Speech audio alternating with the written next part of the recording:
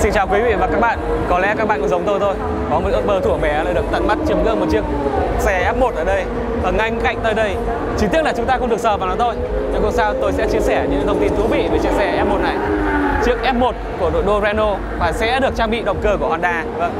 Như thế là lần đầu tiên sau năm 2008 Honda cung cấp động cơ cho hai đội đua cùng một lúc, đó là McLaren và Renault. Chúng ta hãy thử à và Red Bull xin lỗi các bạn. Chúng ta hãy thử tìm hiểu chiếc xe. Bây giờ tôi muốn các bạn đi sang phần thân xe luôn. Thực sự là khi nhìn trên TV tôi khó để tưởng tượng được chiếc xe lại có thể dài như thế này. Và một chiếc xe đua. Có chiều dài và tôi ước chừng có vẻ là phải khoảng 4m8, 4m9, gần 5m Vâng, một chiếc xe đua có chiều dài như vậy mà có thể tăng tốc từ 0 lên 100 km h dưới 2,5 giây. Và thú vị hơn những chiếc xe một tiêu chuẩn chỉ là tiêu chuẩn thôi có thể tăng tốc lên 100 cây và giảm về không trong 4 giây. Vâng. Tôi đoán chắc rằng rất là nhiều người trong số các bạn chưa từng lái chiếc xe nào tăng tốc lên không, lên 100 km h trong 4 giây. Chứ đừng nói là tăng tốc và giảm tốc như vậy. Chính vì cái gia tốc khủng khiếp như thế nên một chiếc xe F1 có thể mang lại cái gia tốc lên tới 5G như là gì? Tức là cái gia tốc của nó khi phanh có thể lớn hơn 5 lần so với lực trọng trường. Tức là ví dụ như tôi đi, tôi nặng khoảng 70 cân tức là khi mà đạp phanh hết cỡ, tôi phải chịu một cái áp lực khoảng 350 cân lên người. Và thử tưởng tượng mà xem 350 cân gọi là bằng khoảng 4 em sinh tươi ngồi lên người bạn. Thử tưởng tượng thôi, đã thấy thốn rồi. Chúng ta nhìn xuống ở đây. Một chi tiết rất hay. Và Ferrari là hãng đầu tiên đã áp dụng trên chiếc xe thương mại của họ. Đó là cái đèn phanh ở đây. Đèn phanh theo kiểu dạng đèn sương mù và được đặt vào chính giữa phần đuôi xe như thế này theo giải thích của Ferrari thì cái kiểu đèn như thế này, nó sẽ làm cho xe dễ nhìn hơn. Kiểu trong cái điều kiện đua nó đường mưa rào hay đường sương mù. Và cũng nhìn ngay ở đây, một cái chi tiết rất nổi bật của chiếc xe. Cái phần lốp đua chuyên dụng của hãng Pirelli V0 vâng. tôi thử đo thử áng chừng thôi, tôi không được chạm vào nhưng mà hãy thử áng chừng thôi. Cái tiết diện của nó ít nhất là phải tầm 400 mm vâng cái lốp mà dành cho mẫu xe thương mại lớn nhất theo tôi được biết là khoảng 330 mm tức là khoảng đến đây. Những chiếc xe đua này một lốp của nó thôi là đã khoảng 400 mm rồi. Dù to như vậy béo như vậy nhưng mà phần lốp này nó được thiết kế chỉ để chạy trong khoảng 90 cho đến 120 cây thôi là nó phải hỏng. Và khi kết thúc khoảng hơn 100 cây đấy nó sẽ bị giảm 0,5 cân. Giảm cân còn nhiều hơn cả cách tôi giảm cân mặc dù tôi đã ăn ít rồi cố ăn ít để cho bụng nó đỡ to rồi. Phần lốp của chiếc xe thông thường có thể chạy được khoảng 6 đến 7 vạn. Trong khi lốp của xe đua chỉ chạy được khoảng 100 cây thôi. Vâng. Đó là lý do vì sao F1 là môn thể thao tốn tiền nhất thế giới. Chúng ta đã thấy những đội và đã tham dự và phải bỏ ra hàng triệu, hàng trăm triệu USD chỉ có thể tham dự thôi. Còn để mà thắng giải như kiểu Mercedes-Benz hay Ferrari thì cái ngân cố của họ có khi phải nhiều hơn, phải ba, bốn thậm chí nửa tỷ đô. Mùa chúng ta lại quay lại phần đầu xe đi.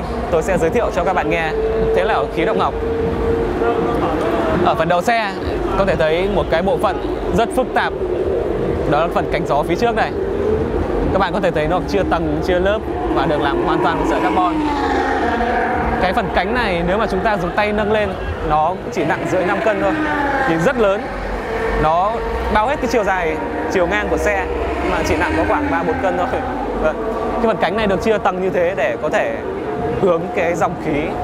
Khi chiếc xe nó chạy ở tốc độ vài trăm cây một mét một giờ hướng qua phần lốp này và chạy qua những cái phần cánh gió phụ ở phần thân xe. Và đến cuối cùng cái cánh gió ở phía sau cánh gió phía sau tôi sẽ giải thích sau. Cái phần cánh gió phức tạp như này có lẽ các bạn sẽ thấy một chiếc xe đua là nó phải trơn mượt không? Không phải xe đỗ F1 là một trong những chiếc xe có tính khí động học ngược đời nhất thế giới chúng ta thấy Mercedes-Benz S-Class tự hào giới thiệu là xe của họ là trơn mượt nhất, khí động học nhất với cái độ cản gió thì 0,26 CD thôi. Nhưng với chiếc xe F1 này cái độ cản gió nó phải tầm 0,8, 0,9 CD. Tức là nếu mà so sánh vui thì nó còn nó còn cản gió hơn cả những chiếc xe tải mà chúng ta nhìn thấy những chiếc xe container vâng. nhưng mà cản gió như thế vậy mà nhờ một động cơ cực kỳ khỏe thì nó cũng có thể tăng tốc. Điên khùng như tôi đã giới thiệu ở đầu clip rồi. Động cơ của chiếc Red Bull này Honda chưa thông bố chưa thông cáo cái thông số của nó nhưng mà tôi nghĩ rằng nó sẽ tương đồng với động cơ 1,6 lít của 1,6 lít V6 mà họ đang trang bị trên McLaren. Cái khối động cơ này kết hợp với hệ thống phục hồi động năng ở phanh và motor điện nó có thể cho cái công suất đâu đó là khoảng 650 650 mã lực nghe có vẻ là chưa ăn thua lắm, bởi vì so sánh đơn giản thôi. Chiếc siêu xe, ví dụ là Ferrari đi đó có khoảng 900 bao nhiêu mã rồi. Đây chiếc xe chỉ có 600 bao nhiêu 650 thôi. Nghe có vẻ không ấn tượng, nhưng mà khi ta kết hợp với lại cân nặng cô cộng thêm cả người lái người lái khoảng 70 cân, của chiếc xe này mới là khoảng 702 cân. Vâng cái tỷ số sức mạnh và cái trọng lượng gọi là cực kỳ khủng khiếp. Nó và khoảng gần 11 để dễ so sánh thì tôi sẽ so với chiếc Bugatti Chiron. Cái tỷ lệ công suất và trọng lượng của nó là 0,5 chia 1 tức là 0,5 mã lực phải gánh một cân. Nhưng mà chiếc xe này một mã lực chỉ gánh một cân thôi. Rất kinh khủng. Thế mà là xe đua chứ.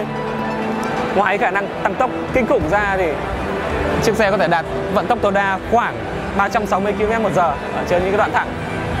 360 km một giờ. Đây con số thực sự là không tưởng điều đấy chúng ta phải đặt vào cái văn cảnh rằng những đường đua, cái đoạn thẳng nó rất ngắn.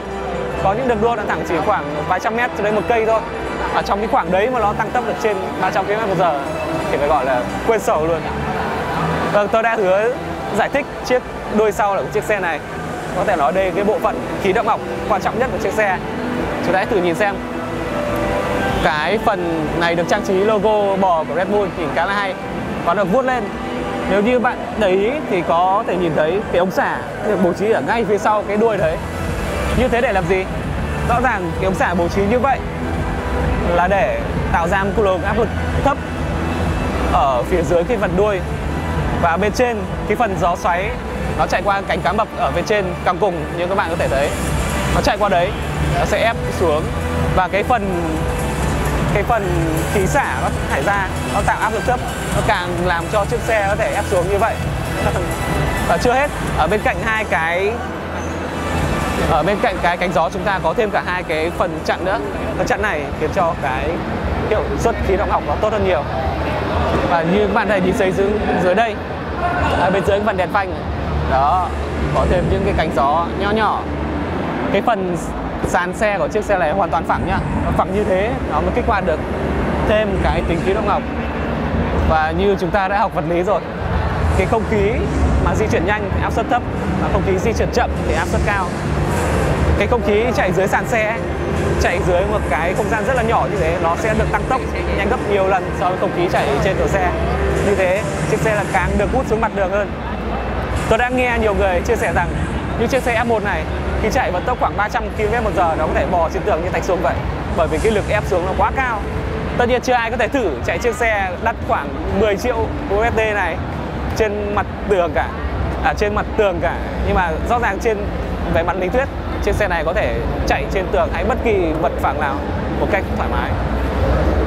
Nếu mà chúng ta thử nhìn sang phần thân này chúng tôi sẽ chia sẻ tiếp cái rất là hay ho thân xe này chúng ta có thể thấy có một cái ống hút gió khổng lồ dành cho cái động cơ ở bên dưới đặt giữa.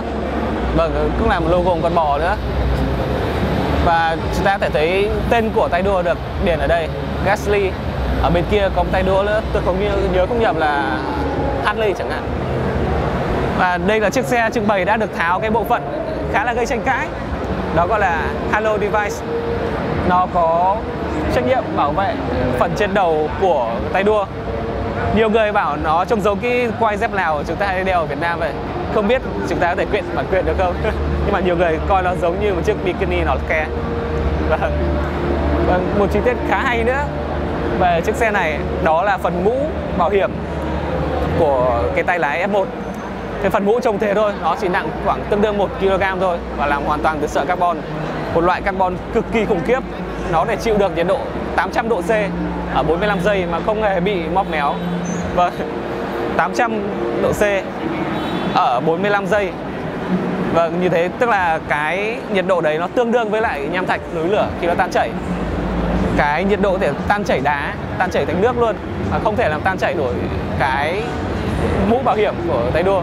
Tất nhiên cái áo của người ta cũng được làm bằng vật liệu chống cháy Nomex và khi mà ví dụ trong trường hợp hy hữu trường hợp xấu nhất chiếc xe hoàn toàn bốc lửa ấy, thì tay đua vẫn có thể thoát ra hoàn toàn thoải mái mà không bị bị đốt cháy như chúng ta động vào lửa. Vâng, đó là những thông tin khá là hay ho về chiếc F1 Nhưng mà đây chiếc xe thực sự là hơi xa vời. Tại sao chúng ta không thử kiểm tra hay thử máy mò một chiếc xe mà rõ ràng là nhiều người Việt Nam có thể mua được? Nó sẽ rẻ như Kia Morning vậy. Chúng ta sang bên này.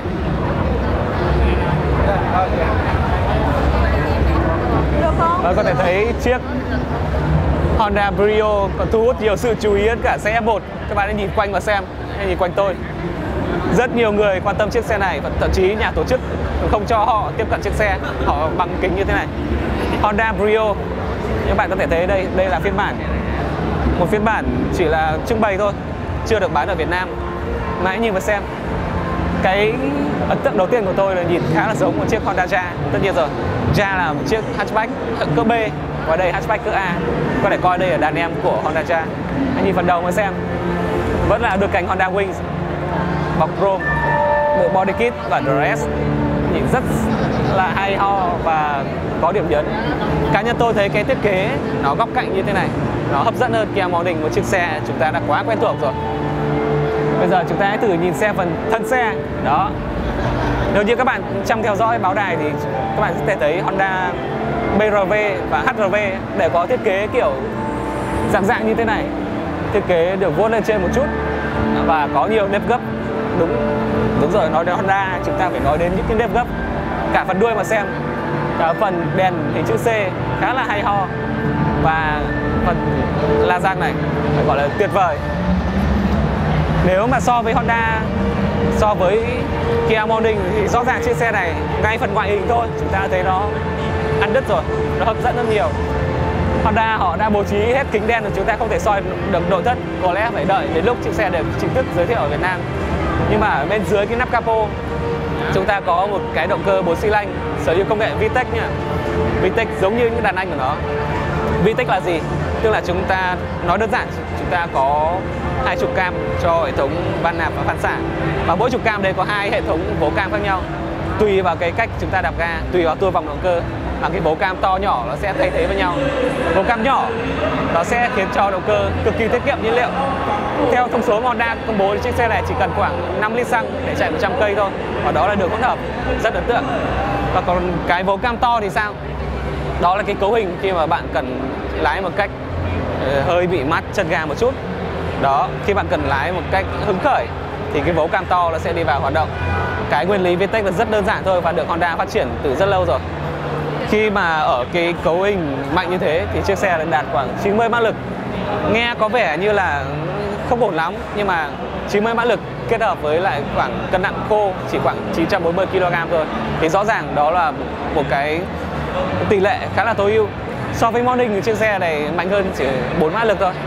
Vâng, chỉ 4 mã lực nhưng mà với cái công nghệ VTEC và hộp số CVT tối ưu hơn hộp số 4 cấp của Morning. Rõ ràng thì chưa lái tôi có thể đoán được chiếc xe này sẽ mang lại trải nghiệm hứng khởi hơn. Và để so sánh vui nữa thì chiếc xe này có tỷ lệ 90 mã lực cho 940 kg mà một chiếc xe rất quen thuộc của chúng ta Toyota Innova có 102 mã lực mà phải cộng tới mà phải cộng tới 1.700 kg rõ ràng là đến Innova chở 7 người còn chạy phà phà trên phố. Tại sao chúng ta có thể lo một chiếc xe như thế này? Có thể hoạt động được trơn tru, mượt mà và mạnh mẽ hay không? Ngoài cái phần động cơ và hộp số, rõ ràng ăn đứt đối thủ ra thì chúng ta sẽ quan tâm đến một điều là liệu chiếc xe này có đủ rộng không? Về cái chiều dài cơ sở của chiếc xe, nó đạt khoảng 2 mét, đâu đó khoảng 2 mét 8 hơn một chút, tức là hơn khoảng 20 mm so với Kia Morning. Rõ ràng với Kia Morning, chúng ta vẫn đi được một gia đình thì tại sao Honda Brio lại không nhỉ? Đây, chiếc xe rõ ràng là tốt hơn về mặt kể cả hiệu năng và kể cả cả sự tiện dụng. Nó rộng hơn ở bên trong và nó mạnh hơn khi chúng ta cầm lái. Vâng rõ ràng một chiếc xe như thế, các bạn nghĩ là sẽ đắt. Nhưng mà theo đánh giá của tôi thì ở Indonesia nó ở mức giá khoảng 190 triệu rupee.